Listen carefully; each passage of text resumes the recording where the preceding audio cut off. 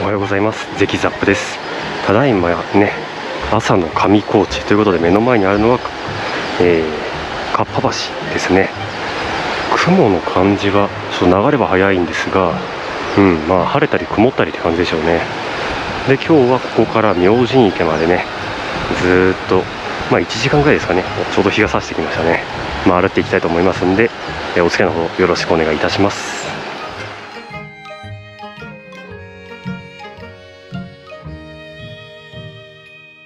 はい。じゃあかっぱ橋も見納めで出発しましょうか。はい、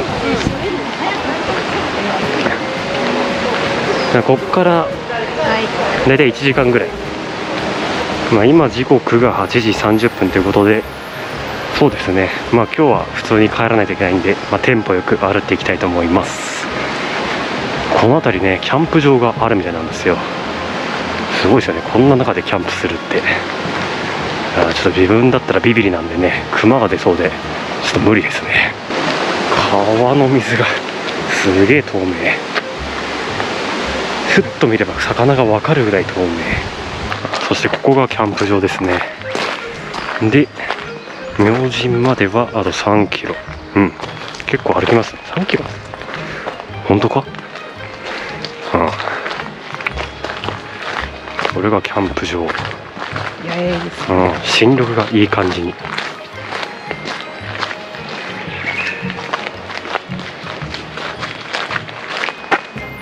うん。2日前？いや今日か。うん。まあいいか。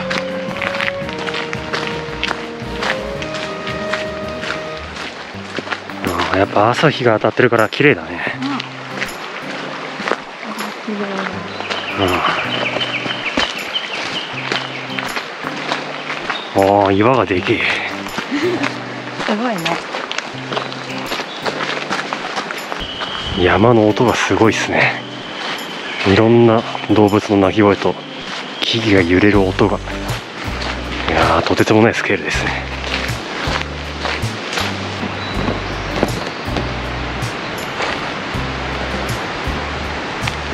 よし。足元の方にもねところどころ花が咲いていたりとかしてうん。見どころは多いですね。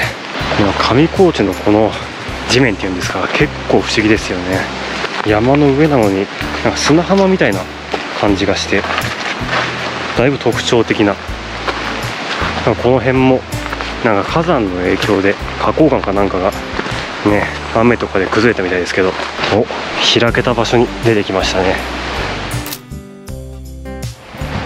で今大体30分ぐらい走ってきたんであと30分ですね。この先が明神池と穂高神社。いよいよですね。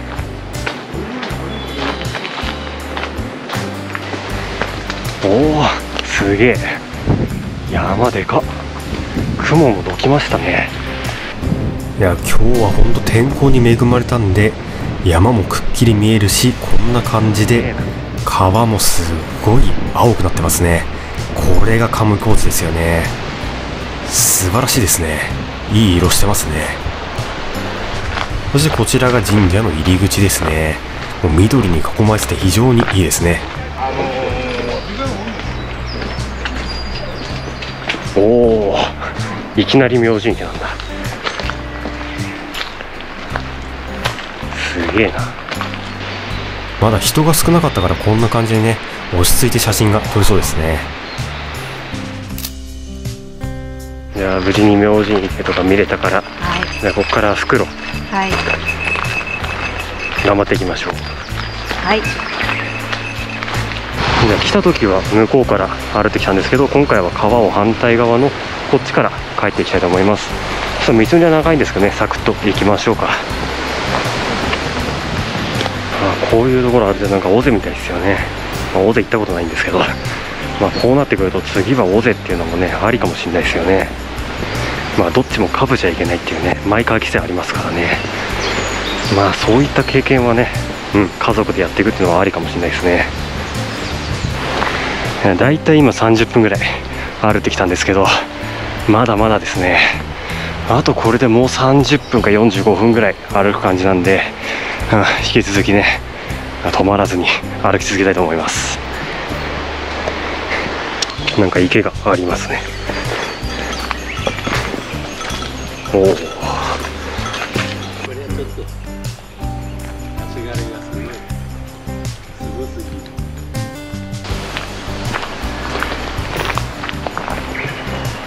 いやもう少しでかっぱ橋まで戻れますね。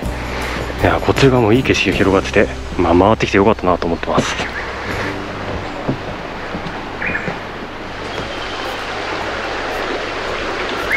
猿がいますね。もう下手に GoPro 切るわけにもいかず、うん、このまま撮り続けてます。GoPro 音出ちゃいますかねピピピってね。よくよく見るともはや猿に囲まれてますね。皆さんこれ何匹見つけられますかね。その辺りも音がするからね。あそこら中に猿がいる。あこっちにも猿がいる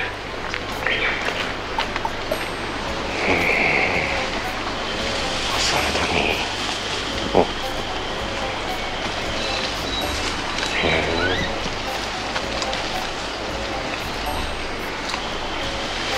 お左側にもいますね。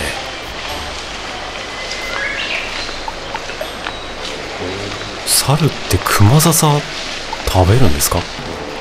何をむしってるんだか。クマザサについてる虫を食べてるのか葉っぱを食ってるのか。うんなんかとりあえず食ってますね。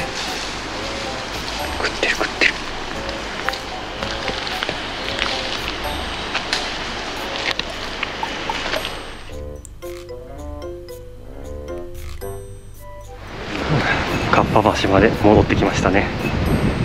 じゃあ昼飯かな。うん飯っす。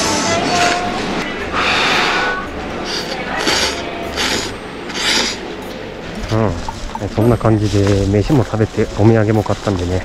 まあ買ったというか買ってもらったんですけど。うんいい感じのだるまがあったんで買ってもらいましたね。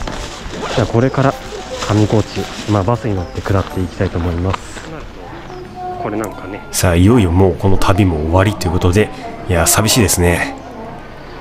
はいということでもう駐車場までね来ました。やっぱ下界は暑いっすね。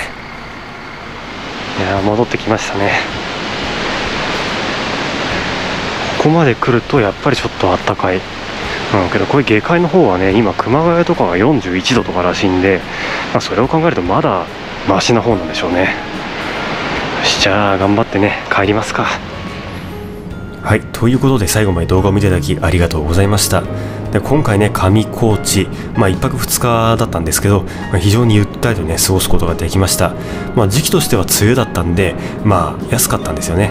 雨が降ってる前提だったんですけどまあ幸いまあねずっと雨が降り続けるということもなくまあこんな感じで青空がね広がっていたんでいや非常に恵まれた日だったかなと思います。うん。なのでやっぱり上コースね晴れてる時に行けばすごい水の透明感と青さが出るんですごい綺麗でおすすめです。まあ、マイカー規制のエリアということで、まあ、なかなかバイクで楽しむには過酷な場所なんですけど、まあ、こういったね、まあ、普段と違った休日の過ごし方っていうんですか、まあ、そういうのもありかなと思いました。ということでね、まあ、次回はまたいつも通りツーリング動画出していきますんでよろしくお願いします、えー、それではまた次の動画でお会いしましょう。バイバイ。